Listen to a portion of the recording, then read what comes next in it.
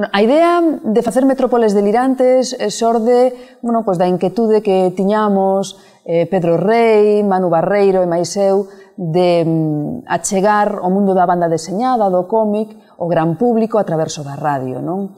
Porque non había ningún programa en Galicia e tiñamos ganas tamén de facelo en galego, que é se había pouco nos medios de comunicación sobre banda deseñada, xa en galego había aínda menos, non? Entón, bueno, pois estuvemos pensando de que xeito poderíamos facelo, se facer un podcast dende a nosa casa, como se fan moitos, non, agora mesmo, eh, colgando en internet. E, bueno, eh, E surdeu a oportunidade de facelo na Universidade de Santiago de Compostela na súa radio online, pois precisamente porque ian poñer en marcha esa iniciativa e nos dixeron se tiñamos algunha idea para, para levala adiante.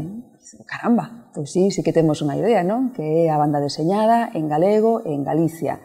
E aí xurde a idea de facer metrópoles delirantes. Que o que fai falta para ver algo de cómic na tele? O que fai falta é ganas.